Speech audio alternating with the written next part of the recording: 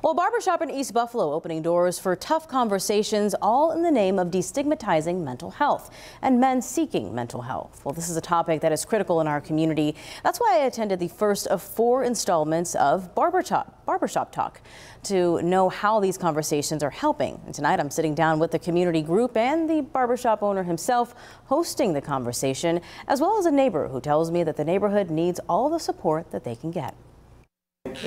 Cuts and conversations. That was the goal in Tuesday night's barbershop talk at Styles of Man at the corner of Delavan and Cortland Avenue on Buffalo's east side. A pillar of the community where people can come as a safe haven. They have a, a place to go to uh, besides just getting their haircut. We may be a mentor to them, we may be a counselor to them, uh, somewhere where they can share their feelings. Barbershop owner Hakeem Hicks hopes that this open discussion can help break down the barriers of talking about mental health in the black and brown community. Get the word out there to let men, young men and older men know there's a safe space. And you find different individuals out there that you can confide in and talk to about how you feel.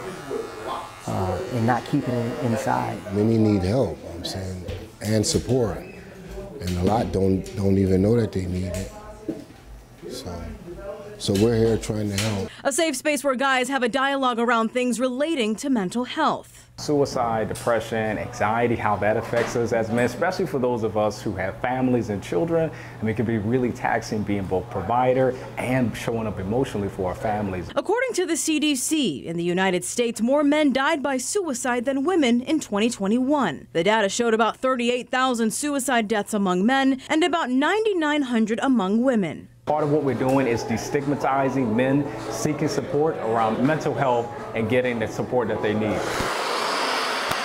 The discussion is timely as we head into the winter months, which are often linked to seasonal depression. Men do not really open up a lot about, you know, talking about things related to depression. So some of the work that we're doing, the underlying work, is changing narrative around the way in which men relate to connecting with other guys to talk about issues that they're going through, and then more importantly, being able or feeling comfortable with seeking mental health related support.